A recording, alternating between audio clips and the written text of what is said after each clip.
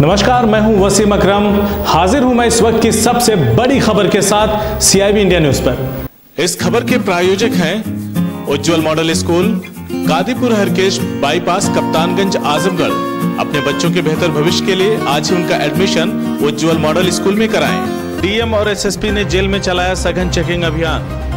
Baghpat jail में गत दिनों माफिया डॉन मुन्ना बजरंगी की हत्याकांड की घटना को शासन ने गंभीरता से लेते हुए प्रदेश की जेलों में छापेमारी के निर्देश दिए थे, जिसको लेकर प्रशासन सतर्क दिखाई दे रहा है।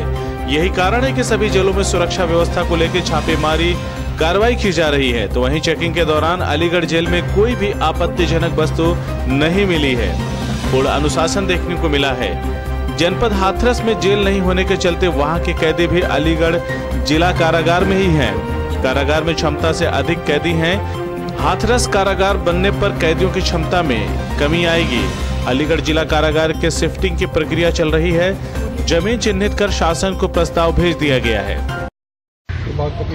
है उसके बाद एक एडवाइजरी जारी हुई थी अ, जेलों का निरीक्षण किया उसी पर हम लोग आए थे।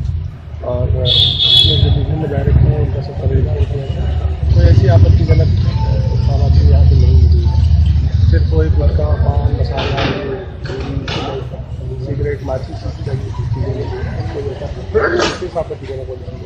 सर, अलीगढ़ जेल की सबसे बड़ी समस्या है कि क्षमता से ज़्यादा कैदी है इसके लिए नहीं नहीं, है, इसके लिए देखिए, जेल शिफ्टिंग का प्रस्ताव है, हम लोग शासन में भेज रहे हैं। अब ये जगह चिन्हित कर ली हम लोगों ने प्रक्रिया चल रही है, और शासन को भेज रहे हैं करने का प्रस्ताव। और संख्या ज़्यादा है, और ये लगभग जब हाथरस की जेल बन जाएगी तो संख्या काफ़ी कम हो जाएगी। और वहाँ करने मेरे ख्याल से निर्माणा गुण है व्यवस्था उसमें बनने का।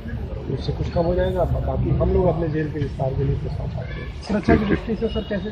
नहीं सुरक्षा की दृष्टि ठीक है यहाँ पे मतलब हम लोगों ने देखा अंदर का अनुशासन सब कुछ सा- सारी बातें जो लोग हैं यहाँ पर उनसे बात करें। सब कुछ ठीक है यहाँ पे मिला के ठीक है। ठीक अगर आपको हमारी खबर अच्छी लगी तो खबर को लाइक करें शेयर करें और चैनल को सब्सक्राइब ज़रूर करें। साथ ही स्क्रीन पर दिख रही घंटी को दबाएँ ताकि आप तक हमारी सभी खबरों के नोटिफिकेशन पहुँचते रहें।